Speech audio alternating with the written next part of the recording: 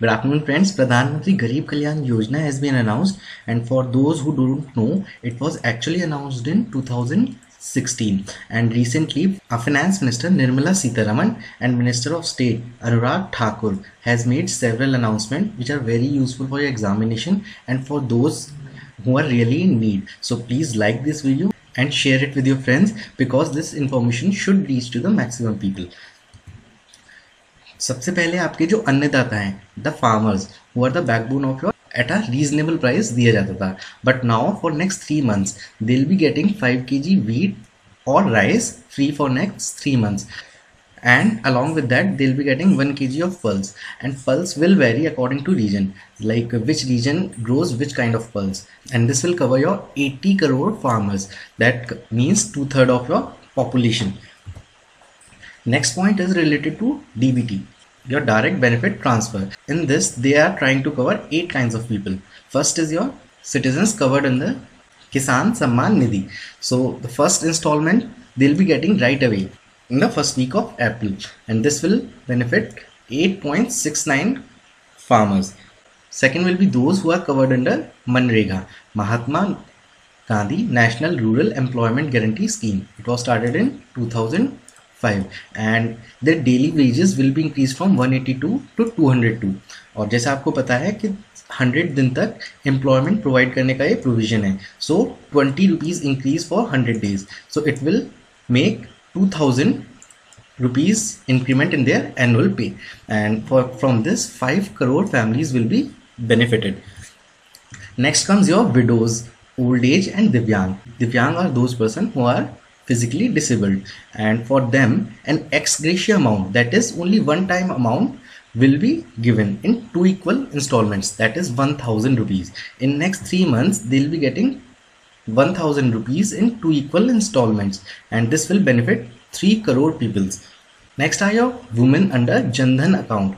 As you know that in January 2014 Jandhan scheme was launched. And it was the largest scheme to mark financial inclusion in this one-time amount that is ex gratia amount will be given to the woman under Jandhan Yojana. That is 500 rupees for next three months. That comes up to 1500 rupees in next three months they'll be getting in their account through DBT that is direct benefit transfer in their account only. And this will benefit again 20 crore women.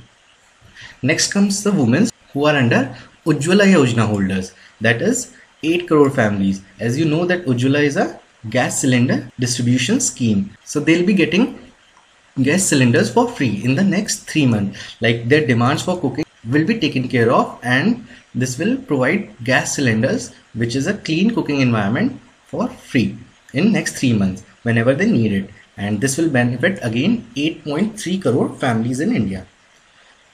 Next is for those who are the member of self-help group.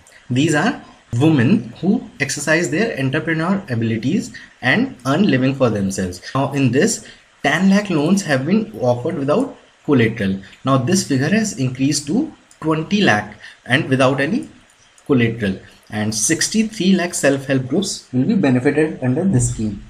It also covers 7 crore households. Next is your organized sector. Organized sector is those who which is a registered sector and the workers here are registered. There is one organized sector and the other is unorganized sector in which the know-how about the workers is not known and there are two announcements related to this. First is Provident Fund contribution has increased that is 12% in employer and 12% in employee has been increased that accounts to 24% total and EPFO regulations are also amended that is 75% of the amount which was non-refundable can be now withdrawn and this will benefit again 4.8 crore workers. Next is your welfare fund for the building and other construction workers. So the direction has been given to state governments to realize this fund that sums up to 31,000 crore and 3.5 registered workers across the India will be benefited from this. And last is your district mineral fund. your administration has been advised to use this one for screening of citizens testing of citizens because अभी WHO की भी तो एक report आई थी उसमें उसमें बोला गया था कि India should test maximum number of citizens so that no one leaves behind so if you like the videos please share it among your friends or relatives because this information should reach to the maximum especially to the one who are in need. Thank you